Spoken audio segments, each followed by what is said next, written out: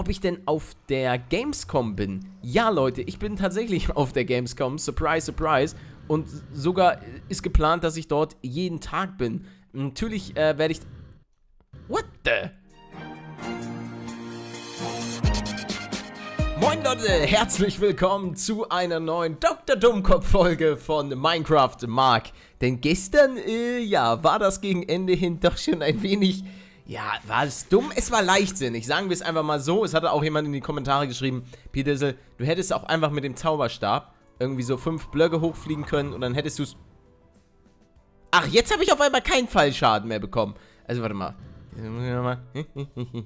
Und jetzt vor dem Aufprall nochmal drücken. Ist aber auch Banane, mir wird das jetzt auf jeden Fall kein zweites Mal passieren, denn äh, ich werde einfach immer das Jetpack benutzen. Und wieso habe ich jetzt hier gerade eine Minute Soulfray? Ich habe keine Ahnung wieso. Ist aber auch nicht weiter wichtig. Denn ich habe mal so ein bisschen geguckt, was wir denn alles noch so haben. Vor allen Dingen auch in den Kommentaren, was ihr denn so wollt. Da stand natürlich auch immer noch der gute alte Arkane Bohrer der aber gar nicht so einfach zu craften ist. Und ich muss auch unbedingt mal wieder einen Livestream machen. Das werde ich dann aber rechtzeitig ankündigen. Momentan sind wirklich tausend verschiedene Sachen, sei es nun Varo, Pipapo, so ein bisschen im Plan und da bleibt relativ wenig Zeit. Wir nehmen uns jetzt aber die Zeit, um vielleicht mal hier vorne, warte, wo war das? Taumatische Bastelei, dass wir uns doch mal hier vielleicht die Telekinese schlägt Schwerkraftblasen jederzeit. Dazu brauchen wir noch einmal Motus. Das sollten wir uns doch einfach mal holen, würde ich, würd, würd einfach mal so äh, sagen. Also hier zeige ich knackig direkt mal hier ein bisschen Ordo. Mal wieder, oh, nochmal Ordo und da kommt Triple. Oh, was ist hier los? Jo, komm schon. Verdammt, aber egal, ey, das war richtig nice. Da haben wir jetzt erstmal wieder viermal Ordo. Da machen wir uns hier einen Motus und dann werden wir das direkt erforschen. Hier, gib mir das. Telekinese. Du hast einen Stabfokus kreiert, der kinetisch auf dem Boden liegende Objekte bewegen kann. Dieser Fokus wird nahe Items zu dem Punkt bewegen, auf den du zeigst. Schleichen wird die Items stattdessen zu dir bringen. Erinnert mich so ein bisschen an meine Axt, oder? Ich weiß gar nicht, ob wir den so unbedingt benötigen momentan. Weil auf dem Boden liegende Items, Objekte, da fand ich irgendwie hier diese Dislokation ein bisschen cooler. Muss ich ja einfach mal so sagen. Und da haben wir eigentlich, glaube ich, auch oh, Instabilität wieder sehr hoch. Aber es gab irgendwo hier, den würde ich ganz gerne auch nochmal kurz erforschen. Der Talisman des Einbehaltens. Ich werde mir deine Zeit nehmen. Das klingt auf jeden Fall nicht schlecht.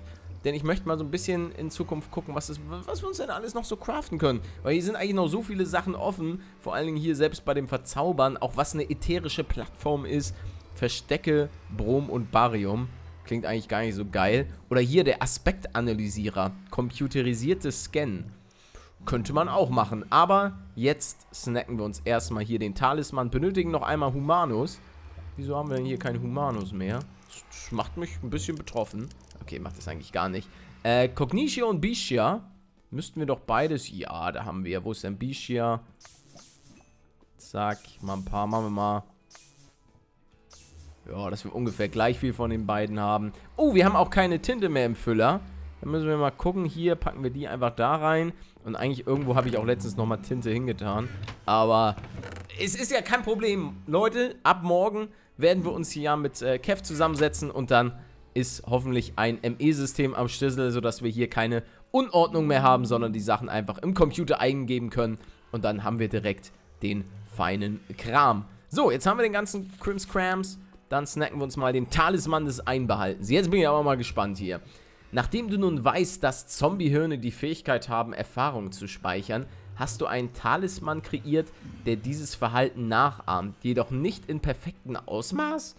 Um die Fähigkeit, Erfahrungen zu speichern, zu nutzen, musst du den Talisman recht... Ja, aber so toll ist das auch nicht, oder?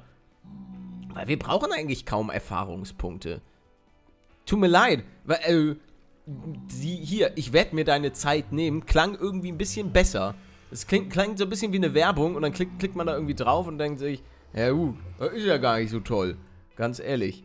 Hier haben wir eigentlich auch nichts mehr. Das Bade... Uh, das Badesalz war eigentlich nochmal ganz interessant. Und was das hier oben ist, das würde ich super gerne wissen. Der gasförmige Illumination, Helligkeit außer Sichtweite.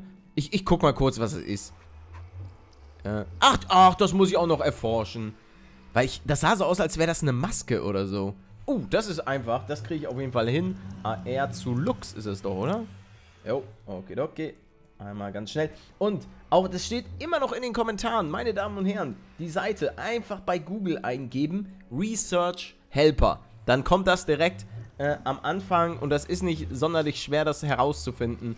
Und die Seite ist eigentlich auch sehr selbsterklärend. So. Modus an AR, dann Ovolatos. Nein, oh, das haben wir auch nicht mehr. Komm schon. Oh, warte, den haben wir sogar behalten. Der ist mit AR, ne?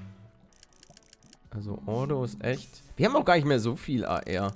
Weil wir haben natürlich relativ viel schon äh, erforscht in letzter Zeit. So, dann muss ich jetzt hier nur noch mal den dran. Und dann haben wir das auch. Komm, jetzt gib mir mal irgendwas Cooles. Zack, Alter. Oh, was ist das denn? Hyperenergetisches Nitor. Oh, hier geht es ja doch noch ganz gut weiter.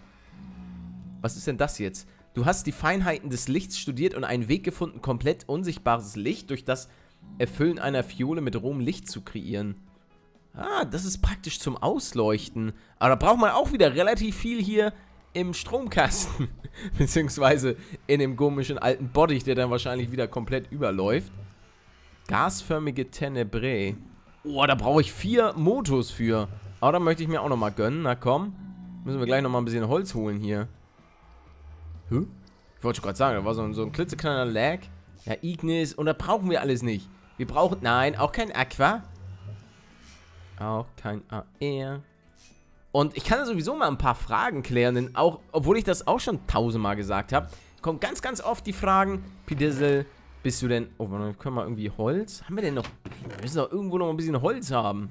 Kann nicht wahr sein, nee, aber scheinbar bin ich entweder zu blind oder wir haben ja ganz viele Fichtensetzlinge. Nur gut, gehen wir mal ein bisschen Holz hacken.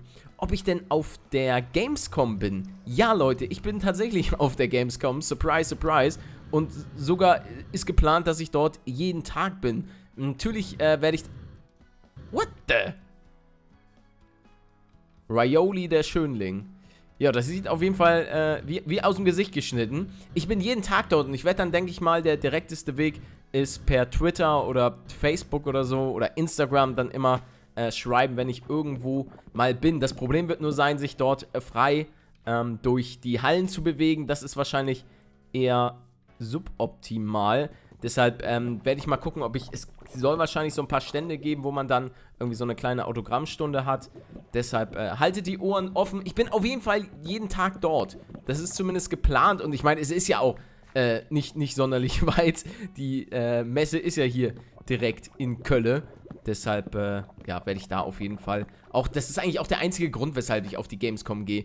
Das ist für mich jetzt nicht großartig, hey, Pidissel guckt sich ein paar Spiele an, sondern es ist einfach, ja, um, um ein paar Leute zu treffen. Ich war ja auch letztens auf der Roleplay Convention hier in Köln und, äh, da bin ich dann auch hauptsächlich eher hingegangen, um ein paar Leute von euch zu treffen. Obwohl auch ein bisschen, um mir das Ganze überhaupt mal, mal ein bisschen zu Gemüte zu führen, weil ich war noch nie auf einer Roleplay-Convention.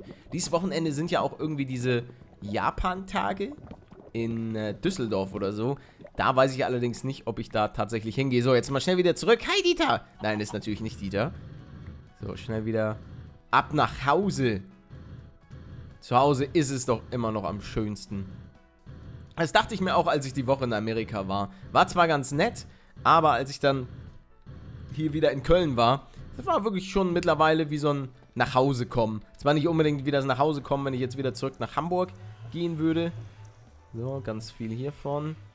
Weil Hamburg ist einfach äh, meine, um äh, meine, meine Heimat, beziehungsweise Hamburg und Umgebung. So, 48. Kommt mal rein hier und dann gebt mir mal ein bisschen Ordo. Haben wir denn vielleicht sogar schon? Ja, wir haben drei. Wir bräuchten noch einen. Ein. Komm schon. Ach, der Pettichio.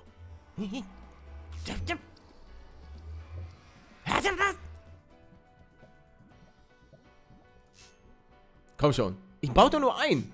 Jetzt mach doch mal. Ah, er. Komm schon. Auto. Jawoll, so muss das sein hier. So.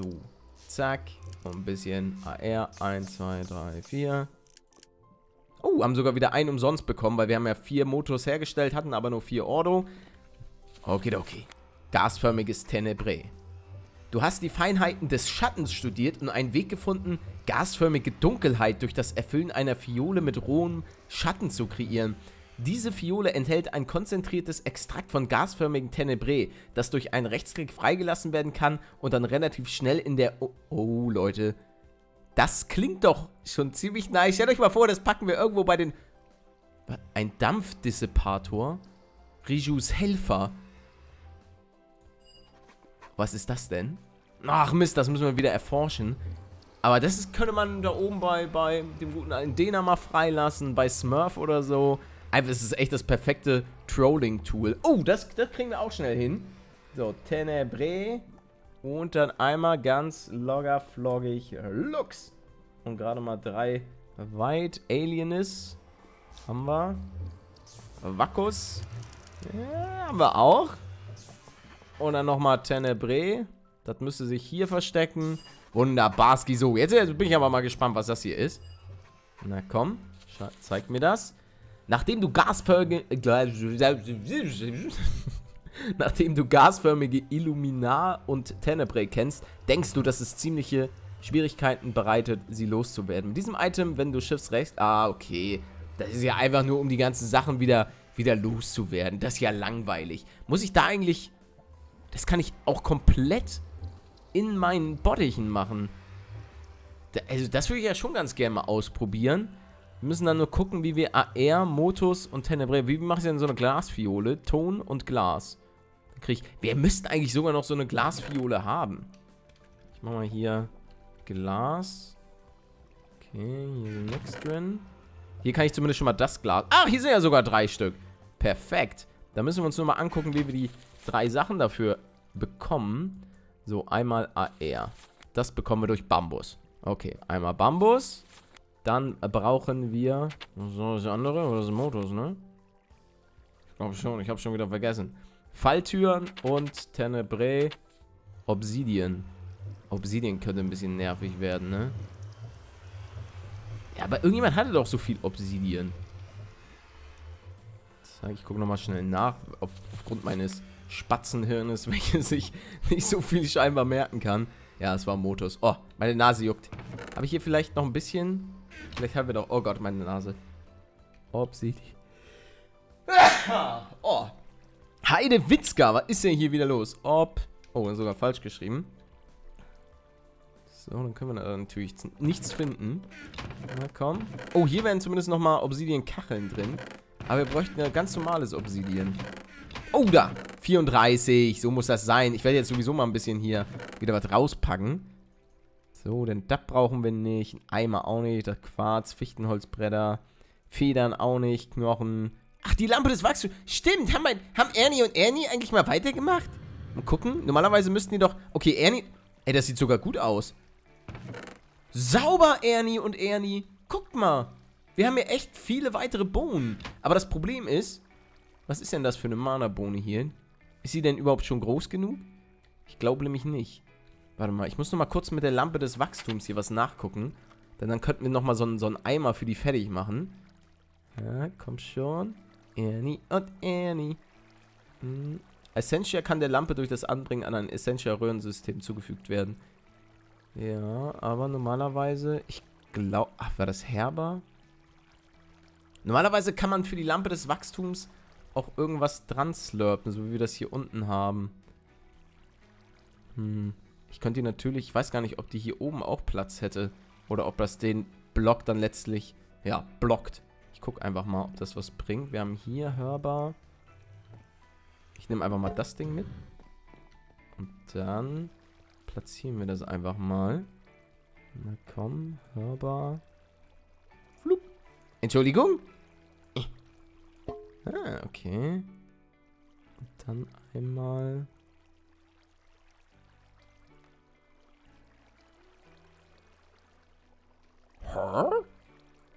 Wo ist meine Lampe des Wachstums? Habe ich die gerade weggelegt? Hä? Warte mal, wo, wo, wo hä? Habe ich die eben irgendwo weg... Das kann, doch nicht, das kann doch nicht mein Ernst sein. Die hatte ich doch eben gerade noch. Lampe des Wachstums? Müsste ich ja... Die habe ich tatsächlich einfach weggelegt. Okay, kein Problem. Ja, manchmal, manchmal, mein, mein Gehirn hat manchmal ein paar Lags. Das ist, das ist einfach so. Okay, die kann ich da, mache ich die mal weg hier. So. Die kann ich hier aber auch auf einmal nicht mehr draufstellen. Ah, doch, jetzt.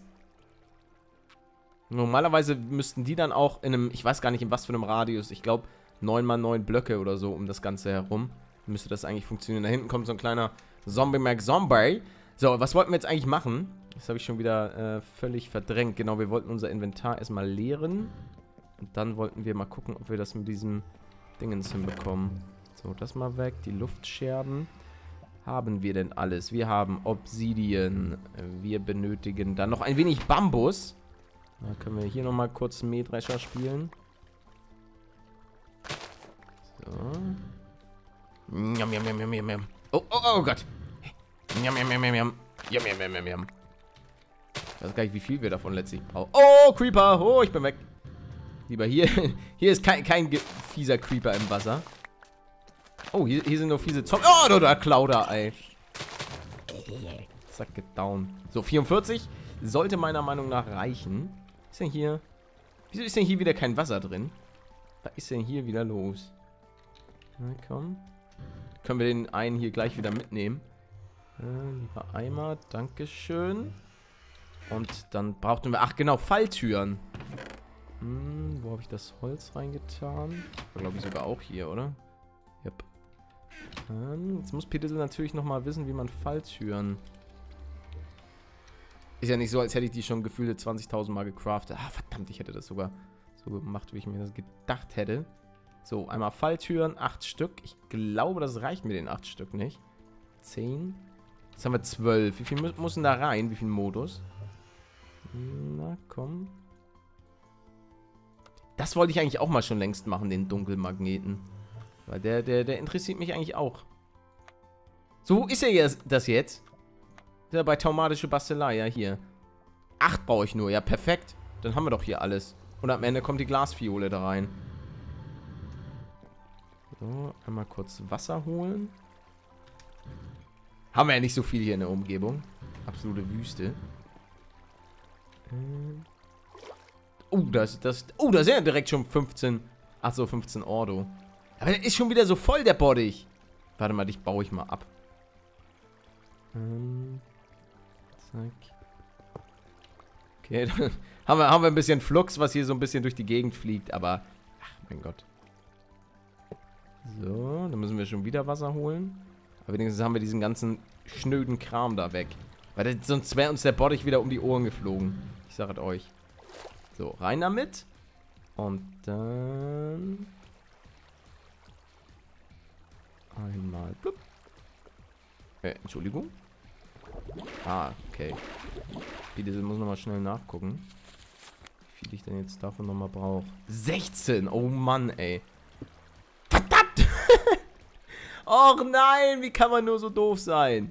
Wir haben noch nicht mal so viel Zeit. Komm schon. Oh, okay, perfekt. Das Ding wird uns wieder komplett überlaufen. Hä? Hörbar? Ah ne, da ist doch, da ist doch. Ja, da sieht man schon, wie es wieder überläuft. Das ist so ätzend und ich weiß auch nicht, wie ich das verhindern kann. Weil das ganze Tenebrae geht jetzt zum Beispiel schon wieder weg. Brauchen 10 davon, 16 Tenebrae und wir müssen jetzt... Oh, oh Gott. Ja, da ist auch schon wieder... Das ist doch sowas von ätzend.